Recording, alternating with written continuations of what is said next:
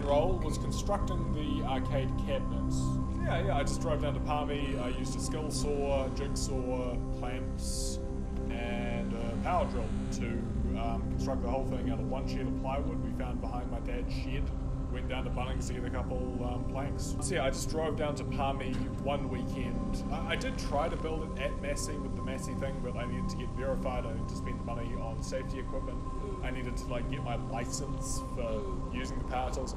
Overall, just way too much effort for driving down to Palmy for a weekend to bang it out. Then we drove it back. It was in my apartment for two weeks. Um, walked it down to Zell's, and there we are.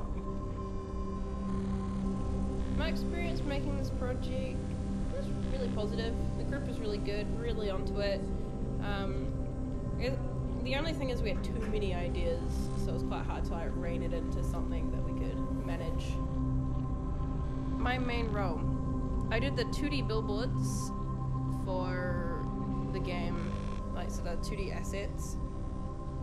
And I, I think it maybe needed just like a much a stronger, uh, more developed art direction, but we just didn't have time to like write anything up about. We made like an, a haunted arcade cabinet. What did the other groups do? I don't know. I didn't have time to check them out. I, I think bottom line, we, we did we set out what we we accomplished what we set out to do. Yeah, I think we, yeah, I'm quite happy with how it turned out. I, think it being a temporary art piece uh, kind of adds the empirical nature of a ghostly arcade cabinet. But Yeah, um, it yeah, it sticks true to I guess its origins. yeah, it was here. Yeah. It was here one day, and it's gone the next.